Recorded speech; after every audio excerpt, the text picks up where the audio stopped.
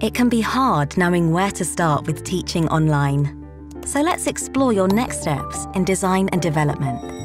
While there are clear differences with in-person learning, you'll still need to design the learning experience around clear course goals, the activities you'll use to achieve them, and how you'll assess whether students have met them.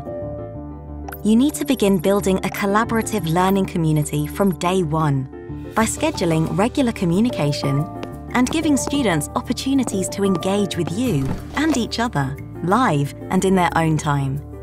Feedback should be frequent and formative. Consider which assessment activities you think will be most effective, depending on your teaching context.